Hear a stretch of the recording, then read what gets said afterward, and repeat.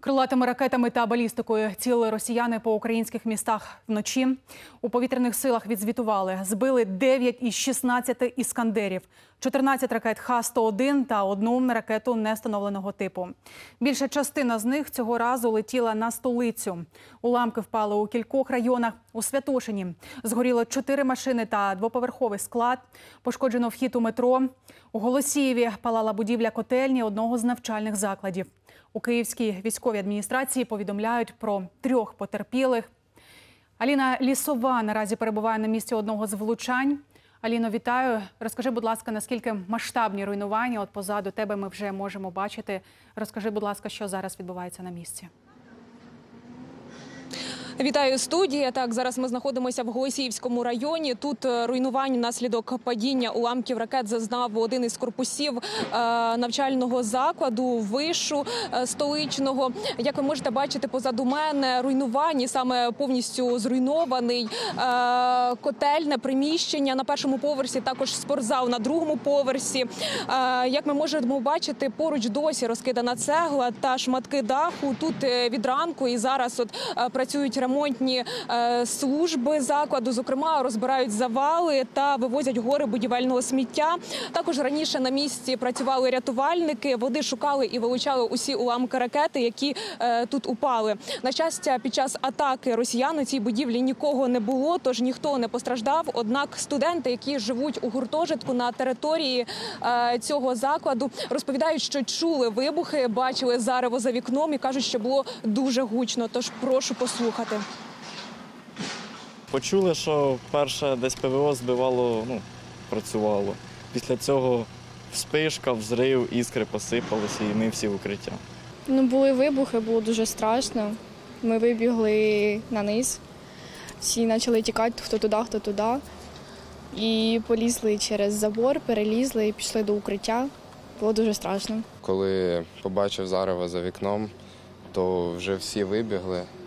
Вибігли сюди, почав викликати пожежну е, швидку допомогу. Ну і все, іначе ми почали з хлопцями готуватися ще, якщо що, допомагати хлоп... ну, е, працівникам ДСНС, але слава Богу, наша допомога не знадобилася. Також, як розповіли працівники закладу, зруйнована котельня опалювала щонайменше шість корпусів навчального закладу. Тут кажуть, що впродовж літа лише підготували її до нового опалювального сезону та провели усі ремонтні роботи. Е, Тепер же цю будівлю і котельню потрібно е, заново повністю відновлювати та встановлювати е, новий котел і е, відбудовувати спортивну залу. Е, Тут кажуть працівники, що будуть це робити дуже терміново, адже новий опалювальний сезон не за горами. Студія. Аліно, дякую за інформацію. Аліна Лісова, наша кореспондентка, розповіла про наслідки нічної атаки росіян у Голосіївському районі столиці. Я тим часом продовжую випуск.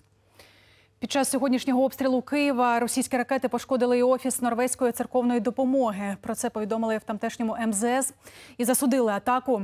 Дісталося від агресора і ісламському культурному центру та мечеті, що перебувають у підпорядкуванні духовного управління мусульман Автономної Республіки Крим. Глава меджлісу кримсько-татарського народу Рефат Чубаров у соцмережах повідомив, що минулося без жертв, однак будівля зазнала суттєвих руйнувань. У приміщенні повилітали вікна, пошкоджена покрівля та стеля. А так прокоментував обстріл другий заступник верховного муфтія Криму Вадим Дашевський. Сьогодні в результаті підлої підступної атаки зазнала значних пошкоджень сам Ісламський культурний центр і також мечеть. Ми зараз з вами перебуваємо в мечеті і можна побачити, що вибіті вікна, двері, пошкоджена стеля і, так, і такого роду, такого плану руйнувань зазнала, зазнав майже весь Ісламський культурний центр. Близько 14-ї ворог знову атакував Херсон. Вибухи пролунали у Дніпровському районі. Окупанти стріляли з тимчасово окупованого лівобережжя.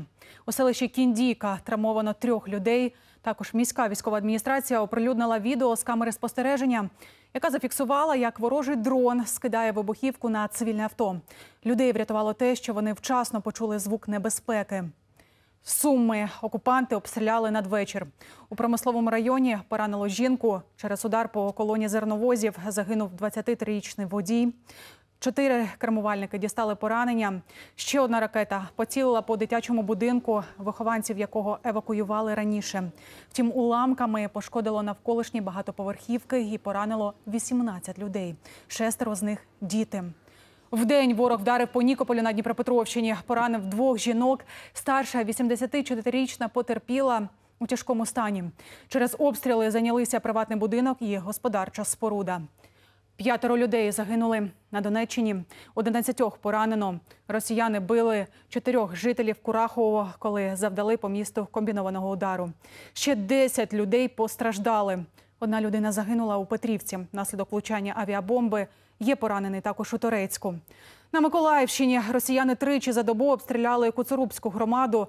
Цього разу FPV-дронами. Пошкодили чотири житлові будинки. Загорілися й поля. Вогонь на площі 5 гектарів загасили місцеві рятувальники. На Запоріжжі російські військові били по 10 містах та селах.